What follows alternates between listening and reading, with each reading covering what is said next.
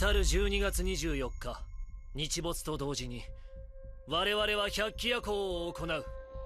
地獄映像を描きたくなければ視力を尽くして止めに来い。思う存分呪い合おうじゃないか。凄まじいね。これが特急過剰音量織本理香の全容か。リカとユータは大人になったら結婚するの。約束だよ。ええ。乙骨ユータは呪術高専で預かります。無理だよ僕。乙骨お前マジで何しに来たんだ？呪術高専によ！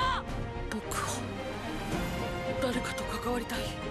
誰かに必要とされて生きてていいって。血が欲しいんだ頑張れ。ユータ僕は呪術高専でリカちゃんの呪いを解きます